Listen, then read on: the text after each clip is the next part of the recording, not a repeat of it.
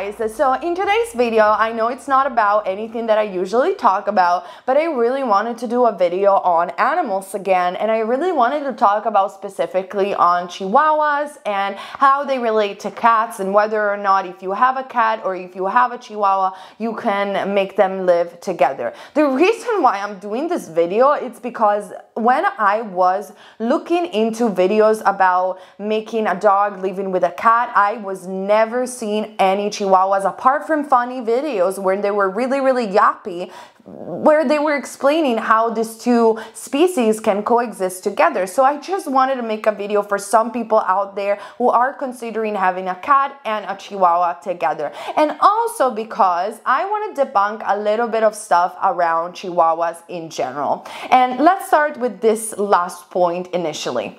So when I was looking into uh, adopting a Chihuahua, I got so overwhelmed about the amount of people that were saying you should never get a Chihuahua, especially if you have a cat. They will really react badly. They are yappy dog. They bite, they are annoying, they bark incessantly, they bark so loud that you know you are gonna get kicked out of your apartment. And I am not saying that there aren't chihuahuas that definitely do portray this characteristic, but at the same time, I do really think that if your animal, whatever animal that is, whether it is a cat or a dog, um, partially if they are misbehaving, it's because of you. It because honestly, honestly, um, I mean, unless they're really a very wild, wild kind of animal, which can happen, everything can be fixed and, uh, and you can communicate with your animals. And like I mentioned in my video on how to telepathically communicate with your animals,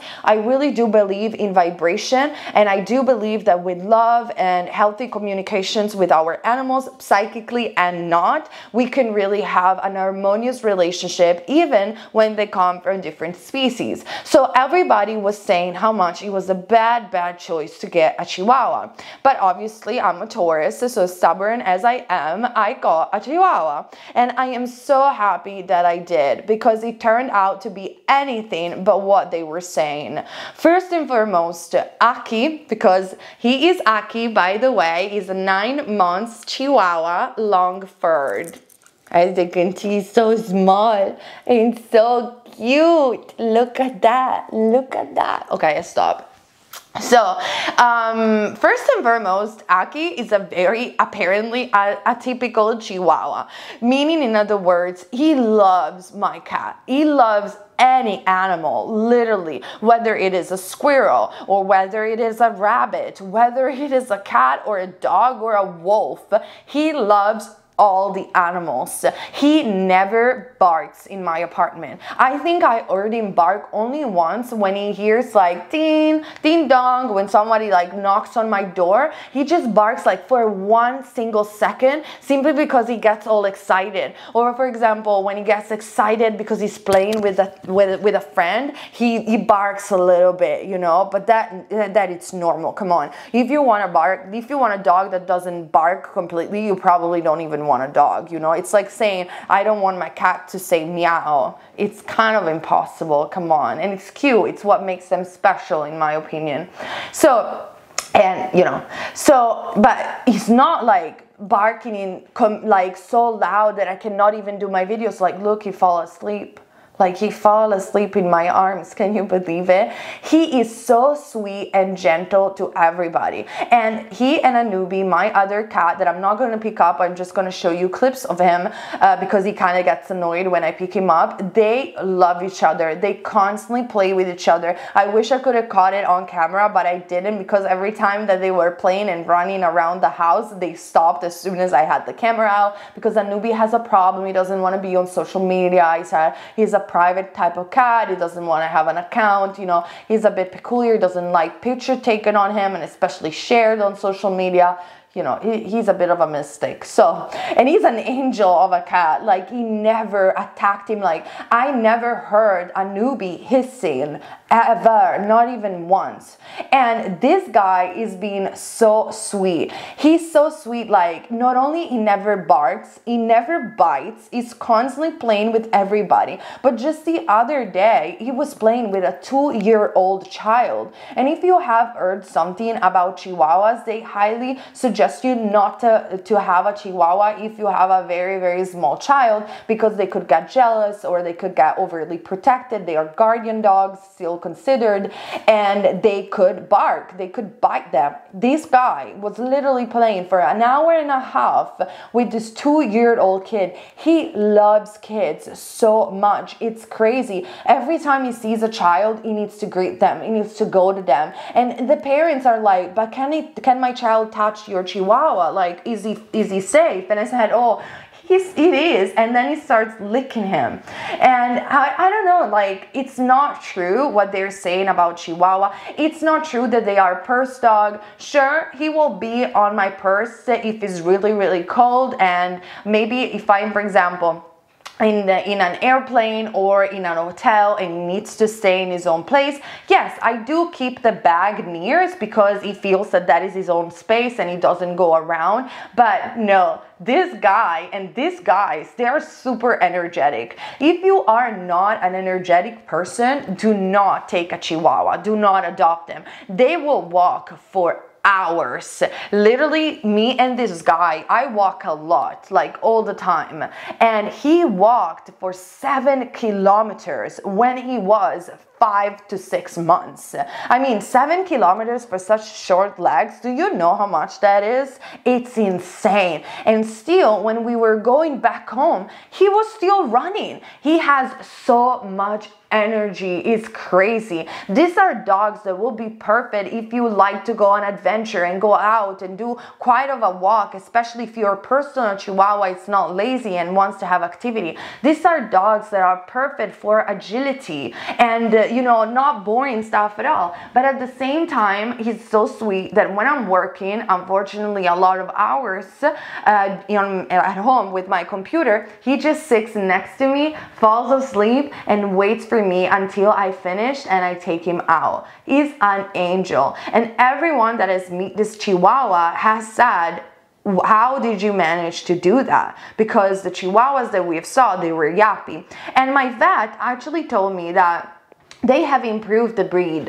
and they have made them more lovable, less yappy. And so I just want you to know that if you have a cat in your house and if you want to own uh, or better adopt a chihuahua, I think that you can, and it's just a matter of the amount of love and healthy communication that you're giving to your Chihuahua. You need to, you know, train yourself to to communicate with them. When he was small, I was already clicking, uh, using the clicker training immediately. He was already like immediately because he's highly intelligent, and it is a highly intelligent breed. He was already able to potty pad immediately. When I remove the potty pad, he waits patiently to go out and never does it anywhere. He never did it, not even when he was small. And just people are shocked about the fact that he's so well behaved and so intelligent. But honestly, I just think because I applied the advice that I gave to you guys in my video about telepathic communication,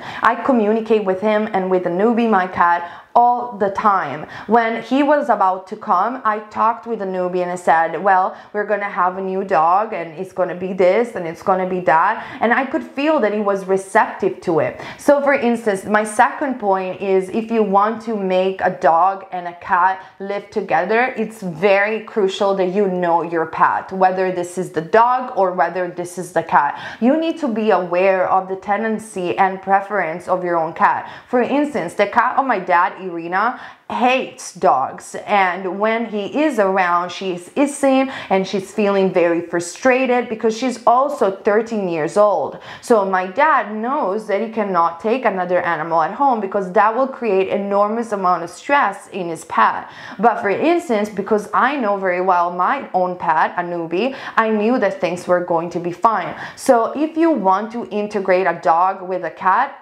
or a chihuahua with a cat i feel it's definitely possible as you guys can see from these images but it's very important that you have awareness. And and you also potentially ask a professional trainer to help you out with that or at the very least your pet your vet. I always always ask the advice of the, the vet and trainers that i know. I always watch tons of videos and read tons of books. So for for instance when uh, he was very small i used to separate the room Anubi's room from where we kept him and I introduced them very, very slowly and gradually until Anubi was completely fine with it. And nothing bad has happened. They always play together. They never, he never even tried to attack him. Actually, is him that is always like biting, not biting, like hurting, but like wanting to play and all this stuff. But as you can see, like he's falling asleep in my arms like not barking not do anything. Like my parents were worried. They were saying you're doing videos. He's gonna bark like non-stop and it's just not true. They're the sweetest animal that they exist. But my advice to you is to read a lot about the breed and to, when you're to pick up your puppy, whether it is in a shelter or through a reputable breeder, observe their behavior, their level of energies, especially, and see whether or not that particular breed or that particular pet, because they're all different, even if there could be the same breed, their level of energy matches yours. He, as a Chihuahua, has a high energy level. So I know that I have to take him out as much as possible with long, long runs and walk. And having another animal in my house allows me to entertain him.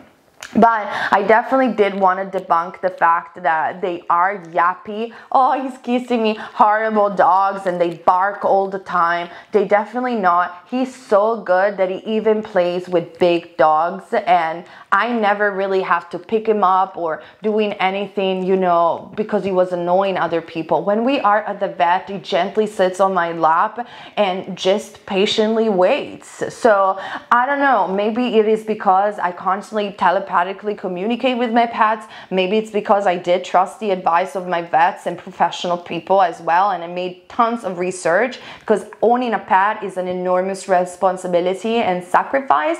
But I just wanted to give you my own humble contribution with this tiny video and the clips that I showed you guys just to, to make you see that no, Chihuahuas can be adorable and they can be sweet and they can make the perfect family dog for so many people. And they are definitely loyal companion and they definitely can live with a cat that does accept their presence. So just be aware of the personality of your cat and know that it is possible and they can be friends, okay? So this is what I have for you. If you guys are interested in animal videos uh, more, just comment down below and let me know your stories or just in case you want to know more about pet psychics and telepathic communication with animals, the video it's here on my channel. You just have to check it out, okay? Thank you so, so much and see you very soon with another of our videos here on Iridia Alchemy. Bye from me and Aki.